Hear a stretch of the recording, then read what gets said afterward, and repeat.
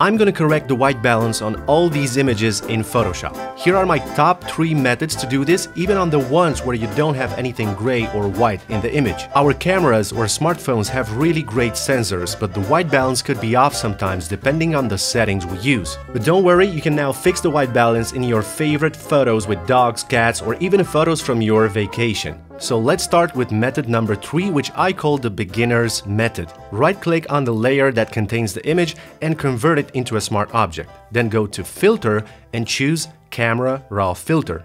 We have lots of areas in this image that should be white or gray, so this is gonna be so easy. By the way, don't ride a bicycle and scroll in your newsfeed in the same time, because you can end up hugging a pole.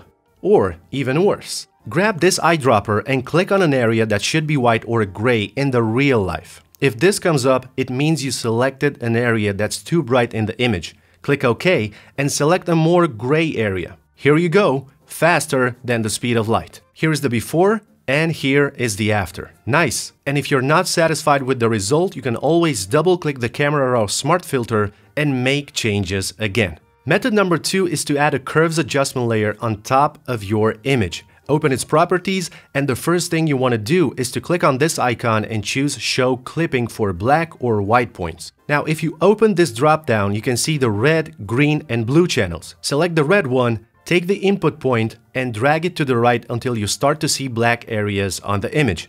Now take the output point and if necessary drag it to the left until red areas appear on the screen. In this case it's not necessary. Let's go to the green channel and do the same thing. Set the input and then the output. The last one is the blue channel, of course. I do the same thing for the input and then for the output to get rid of the color cast. And if I hide and unhide the curves adjustment, you can see the before and after. Awesome result. Here's another example where I want to show you some automated settings you can do as well. I'm adding the same curves adjustment layer. What a cute dog, by the way.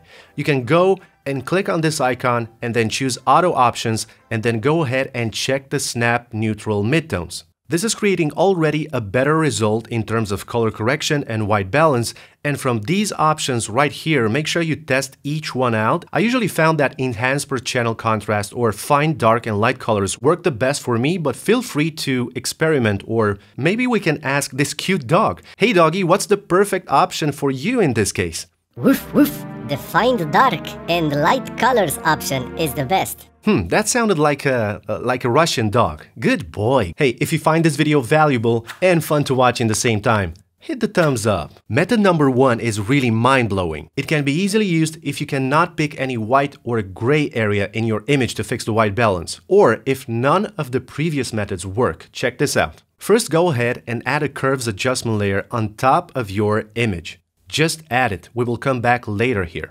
On top of it, add a solid color adjustment layer that should be 50% gray. Just make sure you enter 808080 here, hit OK, and then put this layer on difference blending mode. What this does is that it will show you what are the closest areas to gray on the original image. When this gray layer will overlap with another gray area in the original image, it will show up as black. There is another step we need to make and that is to add a threshold adjustment layer. Grab this handle all the way to the left and then push it slowly back to the right. This will let the gray areas show up and it's way easier to see them this way. What matters in this case is to find the correct skin tones. If the skin tones are corrected, this means we have a proper white balance as well. Now I zoom in a bit, select the curves adjustment, not the mask, the curves adjustment layer, and with this middle eyedropper, I click somewhere on the black area, somewhere on her face or forehead. And done. Are you ready to see the before and after? Because I am. So check this out. Let's hide all the adjustment layers at once by holding Alt or Option and clicking here on the eye.